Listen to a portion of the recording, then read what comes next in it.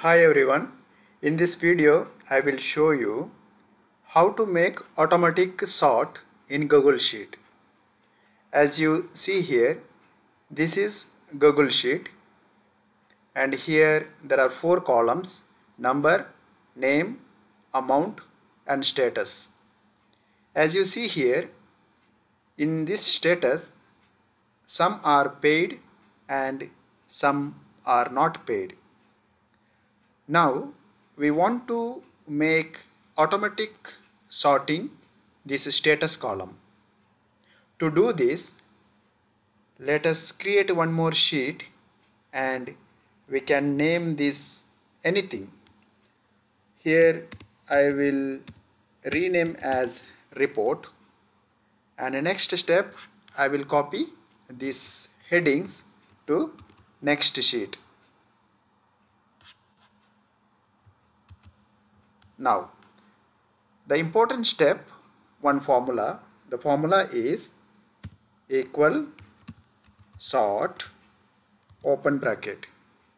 Now we have to define a data. Data is mainly from the previous sheet that is a transaction sheet. Let me select a transaction sheet and from row 2 sorry yeah row 2 we can select as much as we want. First column I'm not selecting because heading is already given there. Now the which column we want to sort? 1 2 3 4 fourth column. Status is fourth column. 4 comma. Next I'll put as a false because false and true that is for ascending and descending order. So this much only. Let me press enter.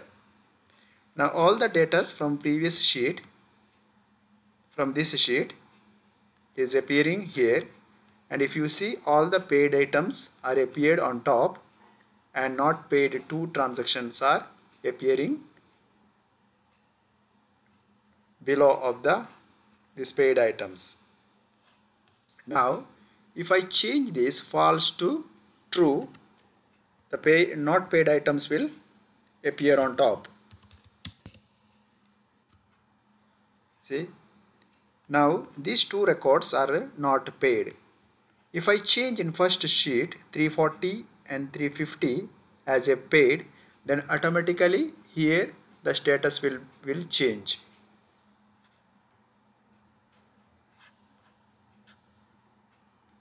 340 and 352 I'll make paid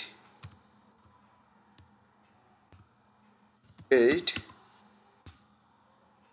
So here it is changed already. All are paid. So if I change one thing as a not paid so here that line item came as not paid. So this is about automatic sorting data in Google Sheet.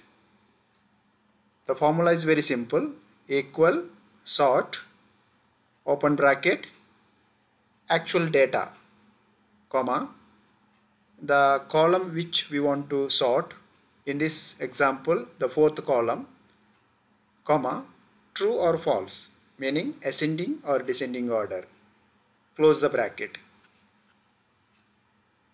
So that's all. Thank you